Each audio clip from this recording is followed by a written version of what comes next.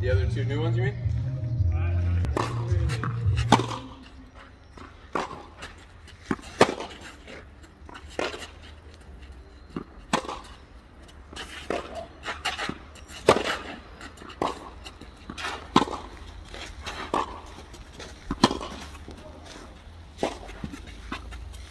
Yeah.